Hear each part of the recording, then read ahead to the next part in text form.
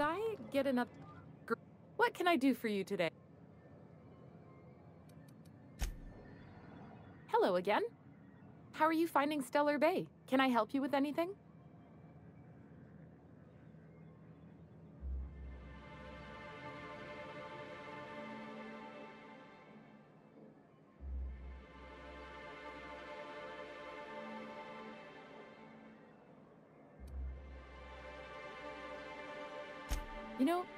Sending you is the first bright idea I've seen from that man, because I told him to stop bothering me about it a week ago. I still don't know anything about it, but if you want to help him, Velma's the one to ask. She's in the warehouse. But I'll warn you, Grim wore her patience thin a long time ago.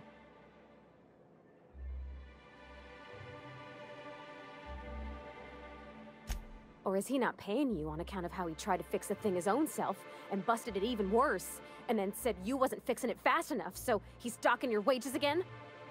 Not that I got any prior experience with such. Not at all. Mr. Nandi treats us all right and pays us well. I just spent most of my paycheck on Raptidon acid.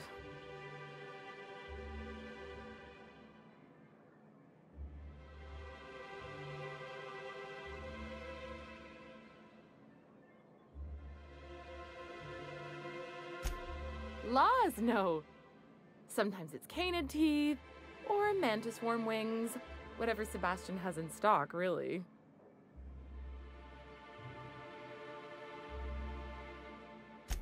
So I can talk to him, of course. He doesn't get going about much else. I reckon she's got a little bit of a squish on this fella. He's sort of the strong, silent type. Unfortunately, my apartment's kind of filling up with his stuff, and some of the neighbors are complaining about the smell.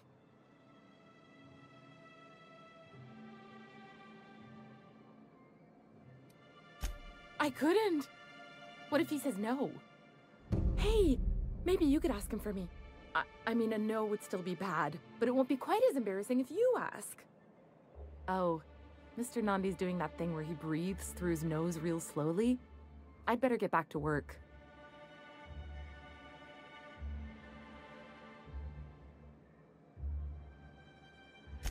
He doesn't talk much, but he's got this quiet intensity, you know? Like there's stuff going on inside his head that you have no idea about. Plus, he's got great legs. It's hard to find a man who doesn't skimp on lower body exercises.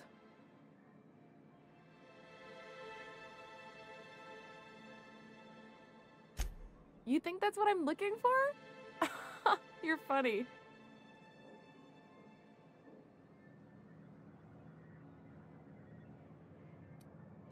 Not in Stellar Bay. Everyone else who isn't taken either smells like Saltuna or they're my boss.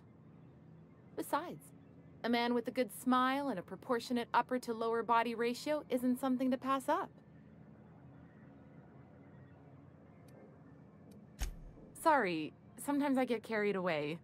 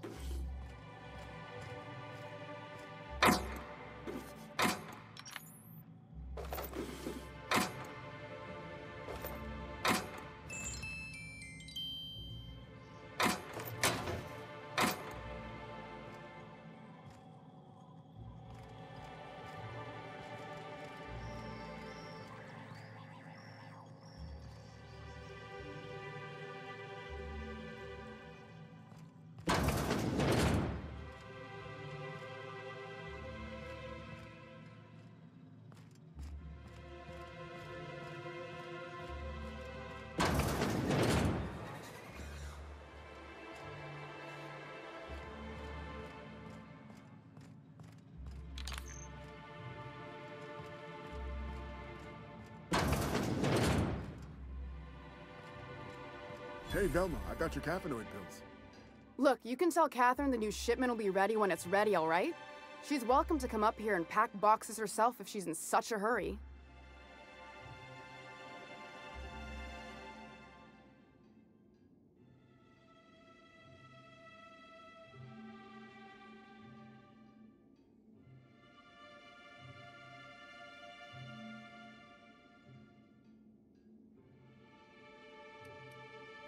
Did she now?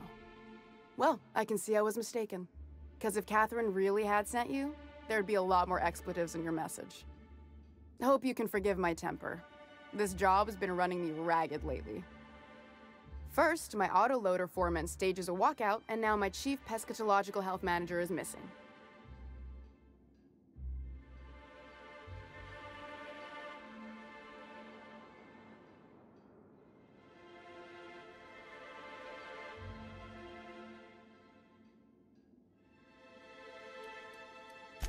This again? I swear, this is the last time I contract for any special requests. You can tell Grim his poster came in. You can also tell him I got a better offer for it. So now it's going to Nell. That about cover it?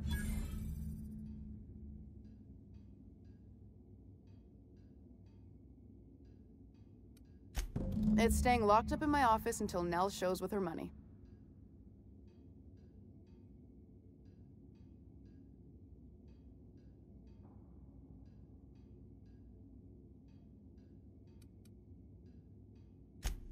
Sure can. If you want to pay me more than Nell's offering.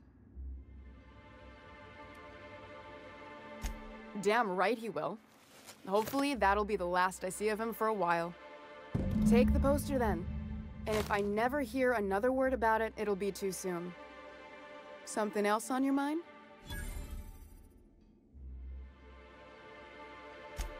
Braxton. He's in charge of getting the fish fat, but also making sure they don't get too many tumors. He's a real wizard with pharmaceuticals, but he has creative notions of working hours. Comes with living in a free colony, I guess.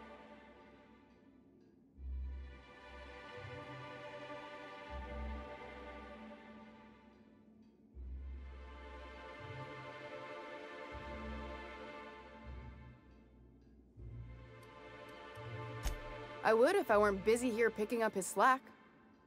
Since you don't seem to be constrained yourself, Maybe you could check up on him. He lives in the apartments. Tell him Velma said to get his lazy ass down here, or she might start noticing those extra drugs he's been taking from supply.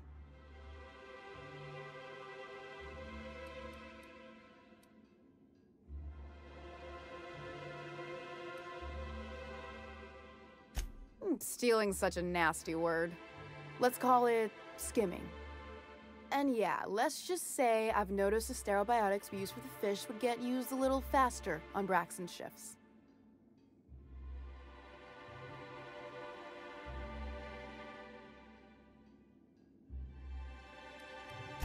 Someone would have if this were a corporate town. But we pride ourselves on giving people a little breathing room. Besides, the Spacer's Choice stuff we use is cheap enough. And Braxton knows how to get the Saltuna, fat and mostly tumor-free.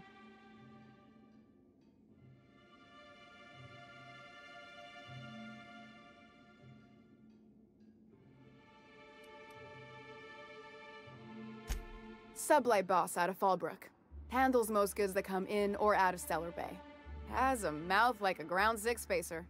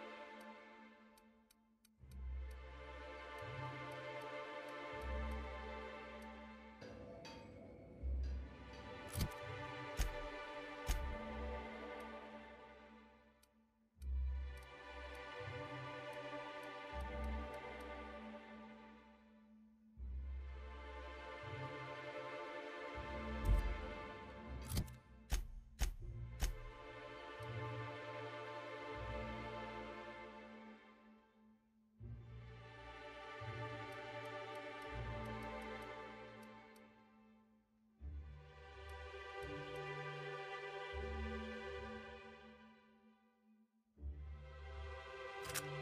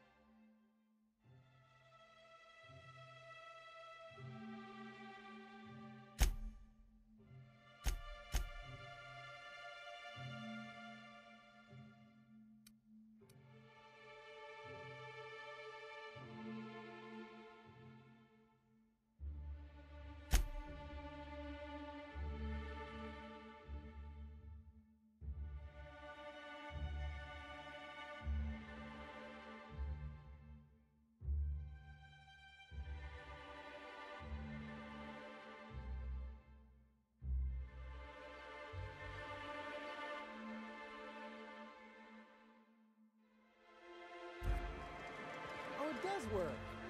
I bought some musk from Sebastian to cover up the saltiness. Trust me, this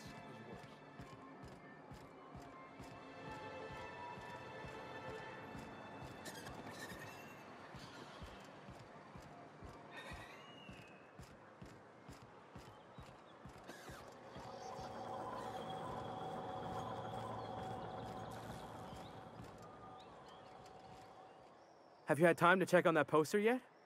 I keep wondering if it's come in.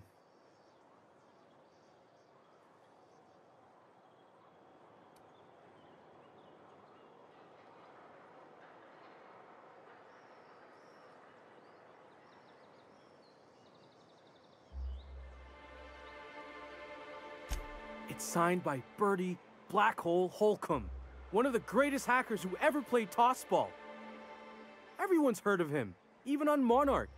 We still get some of the games. You've been living in a sulfur pit or something?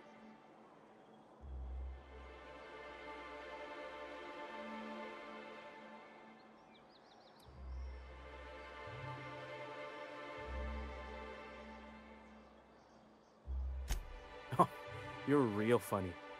Guess I don't feel so bad for missing what goes on in the rest of Stellar Bay.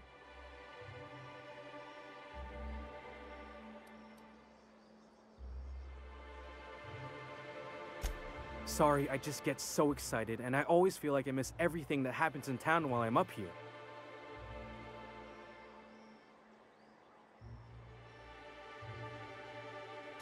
Would you look at that? The Rizzo's logo is nice and bright, and you can still smell the ink on Mr. Holcomb's signature. I can't thank you enough. Still, you can have the bits I was gonna spend at the bar this week. And you know what? Take my old tossball blocker too. Never get the chance to use it these days.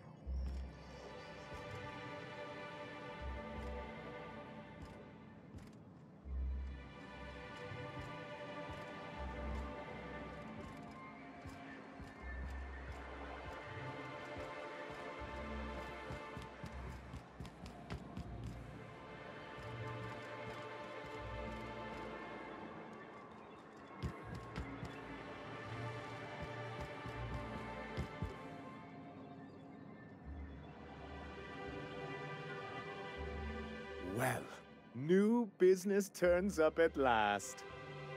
Celia, didn't I tell you our new statistics-based advertising model would be a hit?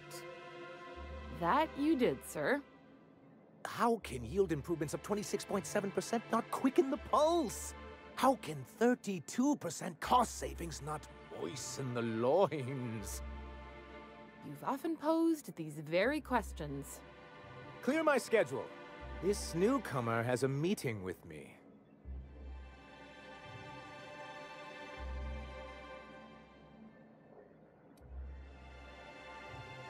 Did you hear that power play, Celia? They don't make them like this anymore in Halcyon.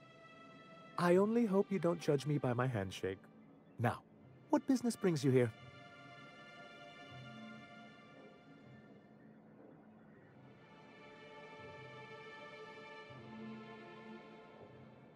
What a charming notion. One doesn't meet many free spirits in Halcyon. Not outside Tartarus prison, anyway. Forgive me, I'd be positively enraptured. Only I take it this means you aren't here for Saltuna.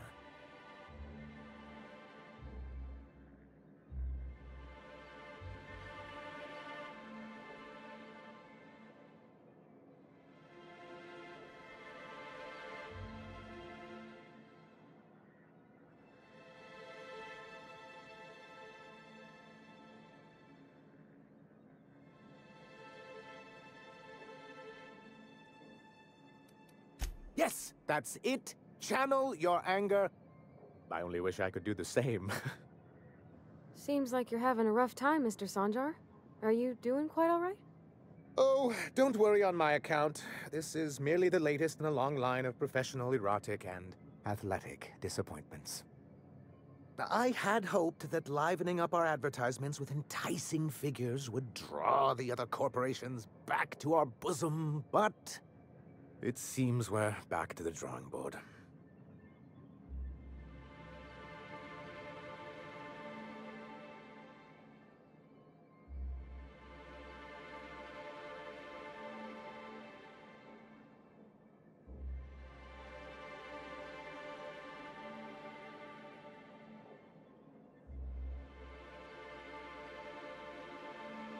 Thanks to the so-called hazard clause, Monarch has been cut off from the board's resources and protection for 10 years now. So-called is right. We've got our hazards, but we're still here, damn it. The board took off without so much as a thought for the folks left behind. I don't... Dang it, Captain, that's not right. Folks on Monarch shouldn't have to suffer just because the board says so. Now, we've kept ourselves in business by trading with individual corporations, but given the off-the-books nature of those transactions, such arrangements are precarious.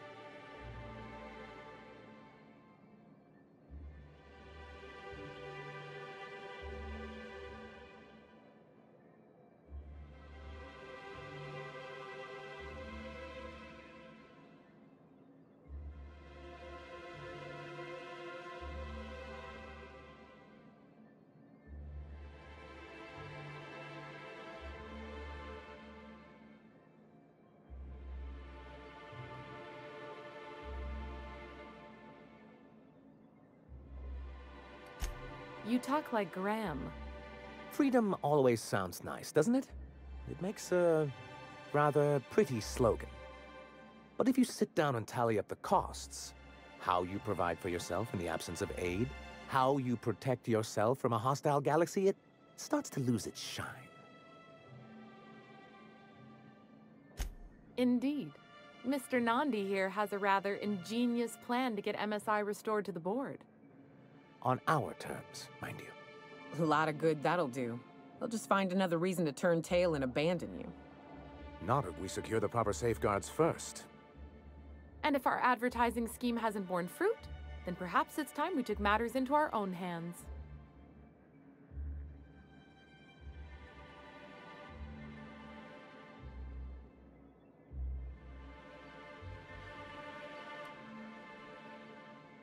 It's a two-pronged approach. The first part involves seeing Stellar Bay properly defended.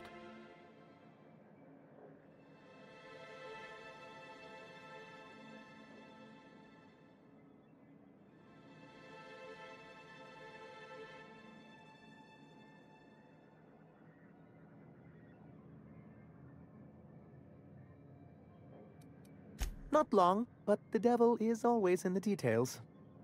And the salient detail here is a Bolt 52 cartridge. If you can get us what we need to rejoin the board, starting the Bolt 52, we'll be able to become one of the most productive and secure cities in Halcyon. And you'll have a powerful ally on the board.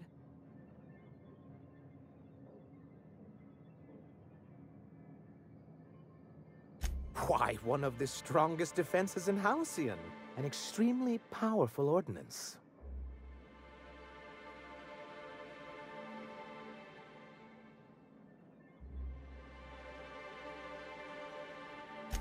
In the old arms building southwest of town, which used to be part of Stellar Bay before we had to move our walls in, these days it's overrun with marauders and raptidons.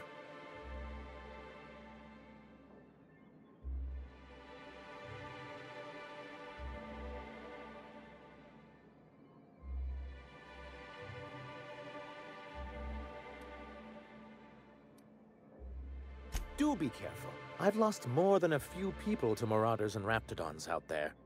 Oh, and while you're at it, there should be a terminal in the arms building with some dangerous information. Perhaps you could delete it so it doesn't fall into the wrong hands.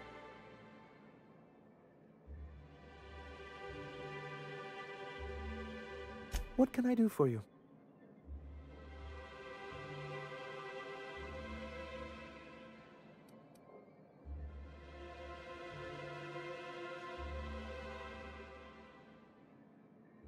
I see.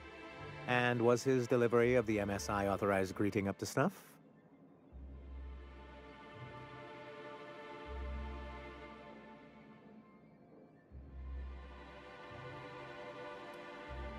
He's not the brightest of minds, but he makes up for it with enthusiasm. That's not what I would call it. Still, I had him posted on the landing pad in hopes that he'd stay out of everyone's way. I'll see about additional training.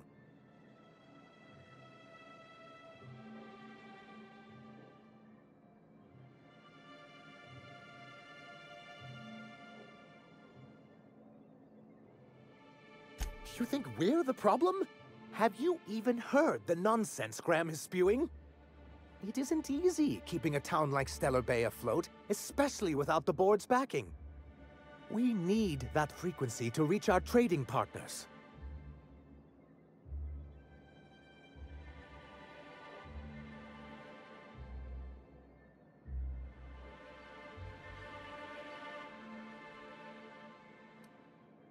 My, you know how to take control of a situation, don't you?